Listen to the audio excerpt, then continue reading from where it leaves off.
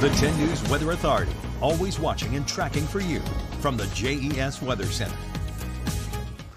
Well, it's pretty amazing the wide variety of weather we can see in southwest and central Virginia during the month of October. You might remember back in 2019, so just three years ago in early October, we had a heat wave a few days in a row where the temperatures were up into the 90s. But compare that to this past weekend when our highs were just in the 50s. Uh, it's just amazing how uh, different the weather can be uh, from year to year in fall. Uh, so those cool highs that we had over the weekend were more typical of Alaska, Minnesota, or Manitoba across Blacksburg, Lynchburg, Roanoke, and Danville. It was certainly nice today to see a recovery with the temperatures due to a little bit more sunshine up into the 60s this afternoon, including 69 for the high in Roanoke, 68 in Lynchburg, 67 in Danville. Danville, we were anywhere from the low to mid 60s in the New River Valley and Mountain Empire. The temperatures, of course, have fallen since then because the skies were pretty clear during the evening. Many of you down into the 40s and 50s, including 52 Roanoke, 53 in Lynchburg. You can see we've already dipped down to 46 in Blacksburg. I think the temperatures fall a little bit more by the time you start off your Tuesday. These are the lows overnight tonight. 45 is what we're forecasting for Roanoke.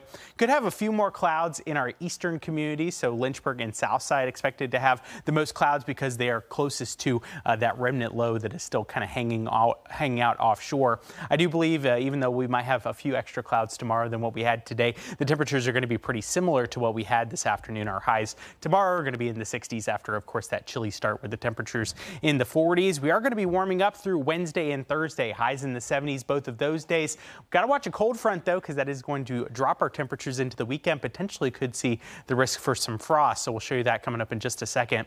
You can see where that low pressure system is going to be tomorrow morning. Again, uh, Lynchburg Southside have the highest chance of seeing some clouds on Tuesday. Once that moves off to the east and high pressure out to the west replaces it, I do believe we are going to be sunnier through Wednesday and Thursday, and the temperatures are going to be on the rise. Looks like we're back into the 70s. Thursday, potentially the warmest day of the week, but then that cold front passes through on Friday, and the cooler air associated with this dip in the jet stream is going to be with us as we go into the weekend. Our highs this weekend likely to only be in the 60s, and it looks like our lows are going to be quite cold. So here's the frost and freeze potential over the weekend. It looks like the best chance of seeing some frost, our lows down into the 30s, will come on Sunday morning.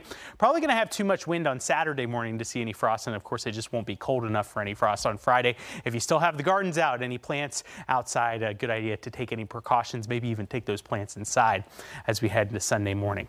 As far as the forecast for the next 24 hours is concerned, no frost overnight tonight, but it is going to be a colder night than recent nights. Are low down to about 45 with partly cloudy skies, and it will be partly cloudy in Roanoke tomorrow. I wouldn't be surprised if it's mostly cloudy in Lynchburg and Southside. Our high tomorrow about 66 degrees. Here's your extended forecast. We're back into the 70s Wednesday and Thursday. I think we're going to be in the 70s Friday as well, but that's the day that the cold front passes through. And uh, the backside of it, you do see the cooler temperatures over this upcoming weekend. A look at the three degree guarantee. Children's Assistive Technology Service in Moneta is who we are supporting this month. Forecast for today was 66, the high 69, so just barely got the three degree parameters, and we have gotten it every day so far in October. So okay. $30.